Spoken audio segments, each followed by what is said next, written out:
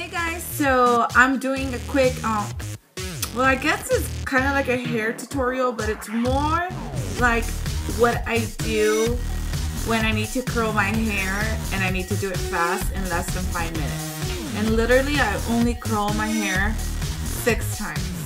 That's it. Two strands in the bottom and two on each side. And um, if you look at it, they're loose curls but you can make them tighter if you want. Uh, I decided that I wanted them looser, so what I did was comb my hair after I curled it.